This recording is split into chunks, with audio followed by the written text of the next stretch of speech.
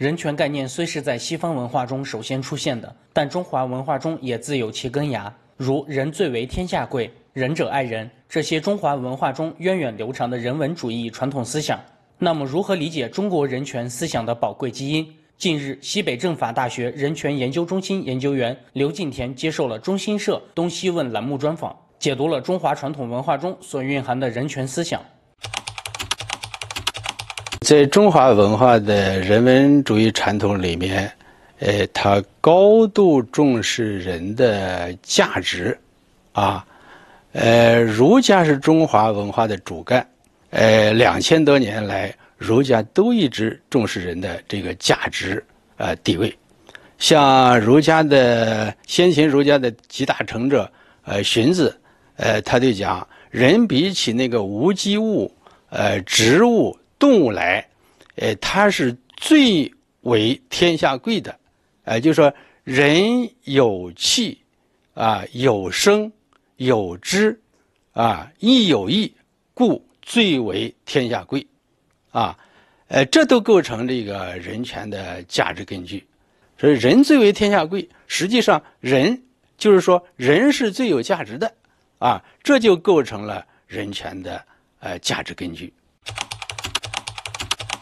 重视人的一个重要的表现啊，就是讲爱人，也就是关怀人、关心人，这个也是人权的一个呃根本内容啊。那么这个爱人，在儒家思想里头啊，孔子讲是仁者爱人，就是要关爱人，关爱他人，也包括关爱自己，关爱所有的人。啊，而且这个爱人或者这个人，他有两个体现啊，一个是忠，一个是恕。呃，恕就是呃己所不欲，勿施于人，实际上就是不损害他人，啊，不损害他人就是一种人对他人的义务。那么人的另外一个表现啊，呃，就是忠，呃，忠就是呃基于利而利人，基于达而达人，这个讲的是帮助他人，所以说。作为人的两个表现的术和忠，啊，呃，和人权的这个内容啊，呃，都是呃契合的。这个人权是人的基本权利，是人的主体性权责，呃，具有人类普遍性，啊，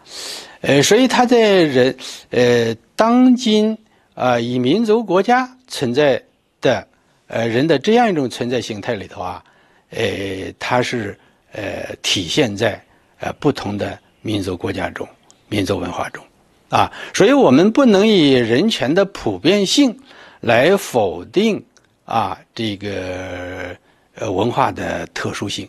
当然也不能用文化的特殊性普这个否定人权的啊普遍性，啊，我们应当在呃人权的普遍性。和各民族文化的特殊性的呃相互适应中、相互阐释中啊，创造性的呃推进人权事业和人权世界。